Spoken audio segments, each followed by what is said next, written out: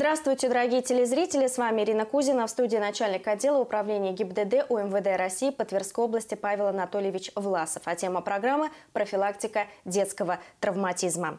Павел Анатольевич, я очень рада вас приветствовать в программе «Прямой эфир». Здравствуйте. Здравствуйте. 29 июля в деревне Напрудье а, Калязинского района произошло ДТП. В результате погибли трое молодых людей, подростки. Что произошло, напомните нашим телезрителям. Да, конечно, страшное ДТП произошло, уже много это обсуждалось и в СМИ, и в сети интернет. Но тем не менее, как сказать, с первых рук, чтобы услышали люди информацию, э, темное время суток, практически пол первого ночи, водитель автомобиля движется, легкового автомобиля, автомобиля движется, пытается обогнать другой автомобиль легковой, и при выполнении маневра обгона, выезжает, ну, как предписывают правила, на полосу предназначенного встречного движения, в это время по встречной полосе движется мотоцикл с э, тремя молодыми людьми. Соответственно, происходит столкновение, э, части мотоцикла отлетают еще в один попутный автомобиль. В результате этого ДТП, значит, три подростка гибнут. Ну, страшное ДТП, конечно. Много можно говорить и про вину водителя, там, но сейчас мы это не можем обсуждать, потому что все-таки это тя тяжкая статья, то есть там уголовное дело возбуждено, поэтому это, наверное, мы от комментариев от этих воздержимся. Но, тем не менее, все же, Mm. Насколько мне известно, сразу на утро было принято решение, губернатор Игорь Рудени озвучил, что нужно в Калязинский район отправить рабочую группу в составе представителей и регионального министерства здравоохранения, социальной защиты, главного управления региональной безопасности, образования, в том числе и представителей вашего ведомства, для того, чтобы на месте разобраться и принять необходимые меры. Представитель госавтоинспекции областной, это, соответственно, исполняющий обязанности начальник, он выехал практически ну, сразу. сразу же, да, то есть он уже был через два два часа на месте, то есть там все на месте, он из первых рук все это видел, и все из первых уст мы слышали, что произошло. Соответственно, и остальные представители тоже различных ведомств выезжали в этот район. Почему это требуется? Потому что вот эта профилактика безопасности дорожного движения – это э, задача для всех, она комплексная. То есть она касается всех субъектов этой uh-huh. деятельности. И Министерства образования, и так далее, там, и в том числе и родителей. Это немаловажную роль родители играют в этой работе. И мы же постоянно с этим имеем дело, да, мониторим ситуацию и понимаем, что сейчас основной, э, как сказать, э, груз ответственности да, за, данное, за данное мероприятие, за безопасность дорожного движения и обеспечение безопасности детей, в частности, родится, ложится на родителей, потому что ничего, как лишний пример, личный пример родителей, не может детей заставить поступать правильно. Да? Что бы мы ни говорили, мы, педагоги, да, все равно ребенок поступает так, как поступают его родители. Лариса Масалыгина, уполномоченная по правам ребенка в Тверской области, заявила, что дети должны быть находиться уже дома после 22 часов. Вот как э, вы, как представители управления ГИБДД, прокомментируете ее заявление? И часто ли такие ситуации складываются, когда в ДТП участвуют дети по вине родителей, когда за ними не досмотрели? Ну, смотрите, то, что касаемо нахождения детей в позднее время на улице, это уже давно прописано, то есть это просто, ну, как-то к этому никто не, при, не придает значения. И, к сожалению, опять же, вот вернусь к родителям, да, наши родители в большинстве своем, не буду говорить про всех, да, воспринимают эту ситуацию, ну, это может коснуться всех, только не меня. Угу. То есть пока вот каждый из родителей через себя это не пропустит, то есть, так сказать, на эмоциональном уровне, да, то есть, ну, сложно добиться положительного эффекта. Потому что, как правило, ну, как это не страшно звучит, родители начинают воспринимать э, степень опасности только после того, как что-то случается либо с их близкими, да, там, за знакомыми, либо, не дай бог, с, с их же детьми, да, но уже это поздно. То есть, опять же, вернемся, если к, к покупке мототехники, да, э, мы понимаем, что мотоцикл – это такое средство, оно очень опасное средство передвижения, да, даже не, не говоря о детях, в целом угу. это опасное средство передвижения. А уже если мы говорим о детях, тем более, потому что ребенок, он вряд ли может уровень опасности адекватно оценивать. Да, и когда там родители покупают э, мотоцикл ребенку и надеясь на то, что он будет кататься около дома, мы же понимаем, что такого не будет. То есть мальчик 14-15 лет, да, то есть он, он поедет туда, куда ему нужно. То есть родители должны, когда покупать такую технику, отдавать себе отчет именно в этом. Это что касается родителей. Ну и что касается в целом этой деятельности, то есть это, этому должны заниматься и педагоги, и госавтоинспекция. Насколько мне известно, статистика, она возросла именно в июле с участием детей в дорожно-транспортных происшествиях. Значит, вы э, с чем связываете эти данные? И как сейчас выстраивается ваша работа профилактическая в связи с э, все равно эпидемиологической непростой обстановкой в Тверской области? Ее основные исполнители – это педагоги и родители. Угу. Да. Получается, у нас из-за определенного состояния в стране, да, введения ограничительных мер, педагогам было сложно очень работать, то есть онлайн-обучение и так далее. А именно вот профилактика безопасности дорожного движения – это такой характерный вид деятельности, который наиболее воспринимается вот при очном общении с детьми.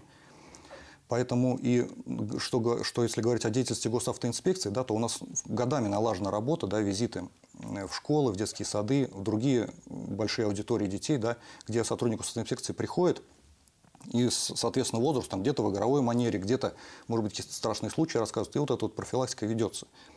Что мы сейчас получаем? То есть эта работа, она у нас не прекращалась, но она просто происходит в несколько усеченном режиме, и где получилось организовать такие вот онлайн-обучения, да, оно проходило.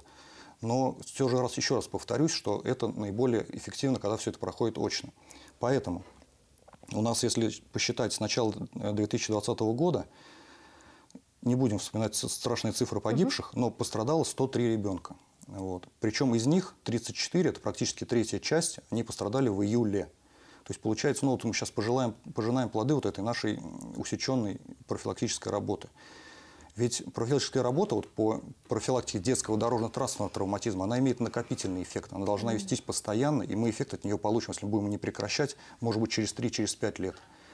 Собственно, в связи с этим, это понимают и на федеральном, и на региональном уровне. Да, вот сейчас у нас, все понимают, запущена кампания, да, инициирована губернатором.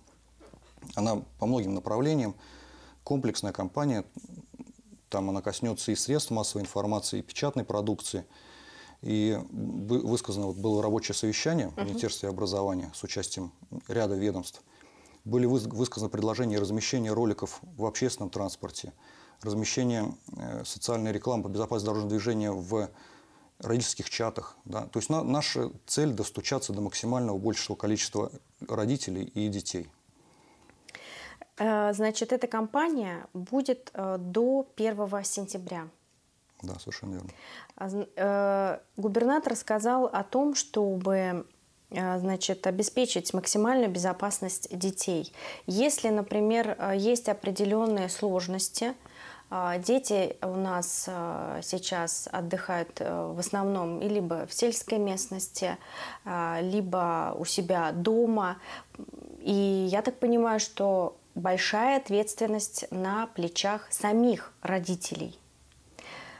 Как вы будете этому способствовать, если вот есть определенные трудности? Как выходить из положения?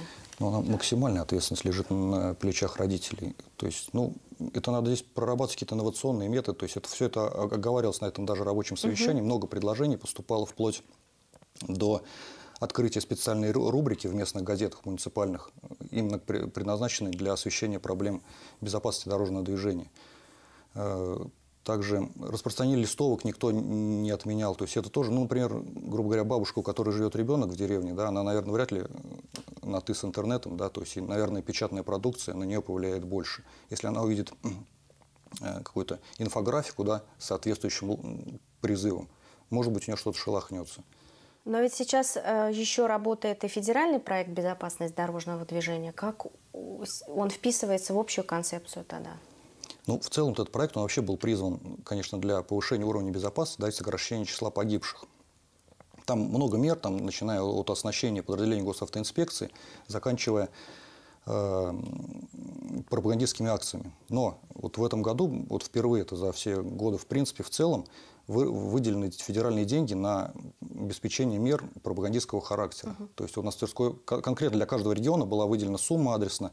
То есть, например, для Тверской области у нас эта сумма почти что 2 миллиона, да, и она предназначена на выпуск радиопрограммы по правилам дорожного движения, специализированной программы. Не то, что там кого-то будут приглашать, а это будет основная э, идея этой программы. Также создание и размещение видеороликов, социальной рекламы по безопасности дорожного движения и создание роликов, э, аудиороликов на размещение радиостанциях. То есть на федеральном уровне понимают, что это одно из основных направлений обеспечения безопасности дорожного движения. Более того, мировой опыт тоже это подсказывает. То есть все вот страны, которые, как мы будем говорить, с более высоким уровнем безопасности дорожного движения, вот, чем там Российская Федерация на настоящий момент, они, у них это было достигнуто двумя способами. То есть первое, это у них было повышение безопасности автодорог, ну то есть э, это имеется в виду инженерные мероприятия, да, там разделение встречных транс- транспортных потоков, но на этом не будем останавливаться. И второе направление, это была пропаганда. То есть, то есть люди во всем мире понимают, что это важный момент воздействия на умы людей, вот именно в этом направлении. А теперь давайте э, с вами вот на какую тему поговорим. Накануне начала учебного года всегда тоже проводите ряд профилактических мероприятий, в том числе и о- речь идет о доступности э, к школам, то есть чтобы ребенку легко было дойти и э, меньше было дорожно-транспортных происшествий. Вот здесь какую работу ведете? Ну, это, это уже давно это ноу-хау освоено, и оно работает. Это так называемый э, проект, будем говорить его называть так, это маршрут дом, школа, дом. То есть ребенок изначально либо с родителями, либо с педагогом э, проходит весь этот маршрут. Как-то графически, ну, это в каждых школах решено по-разному. Кто-то как-то графически решает, его там нарисует маршрут, на- там какие знаки, опасные места, чтобы ребенок понимал, что где ему надо особое внимание А уделить. это точно делают? Это абсолютно точно делают, да. Более того, ну, как бы уровень-то может быть везде разный, то есть у ко- у кого какие материальные возможности да, в, в, э, в школах, но тем не менее это постоянно это ведется, эта работа, она уже много лет, ну не много лет, но не первый год. И она дает свои плоды, потому что, ну, все педагоги, наверное, меня поймут, что ребенку надо много раз объяснить, чтобы он понял, что делать.